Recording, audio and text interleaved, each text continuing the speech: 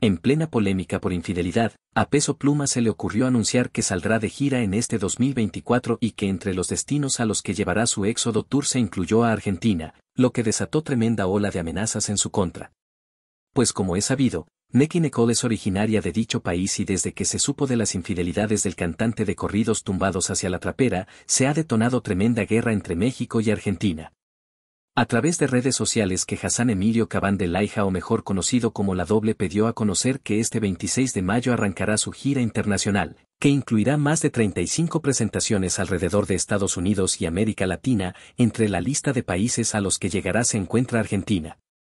En ese contexto, no pasaron muchos minutos cuando cientos de fans de Nicky comenzaron a amenazarlo con desplumarlo si se llega a presentar en su país pues aún no perdonan que el mexicano haya engañado en más de una ocasión a su expareja.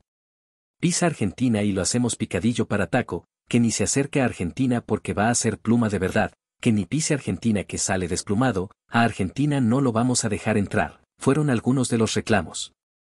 De acuerdo con información exhibida por el periodista argentino Juan Echegoyen, se dice que a raíz de la evidente infidelidad de Peso Pluma con una modelo en Las Vegas, Neki Neko se habría enterado de que el rey de los corridos tumbados la habría engañado en más de una ocasión. Ya que salieron a la luz cientos de conversaciones que el famoso sostenía con otras mujeres en diferentes redes sociales. No olvides suscribirte y darle like, para más contenido.